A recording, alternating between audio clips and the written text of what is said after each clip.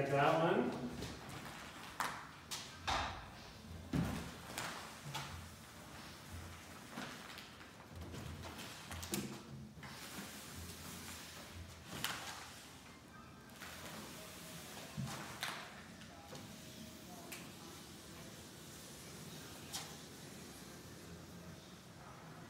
Yeah, and so when you want to open the whole wall, go and open all of those latches before you start moving it. Yep. And then we go to close.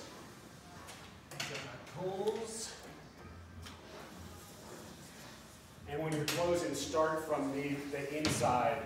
You see how I'm pushing all those locked? Because then you could just open that if you wanted.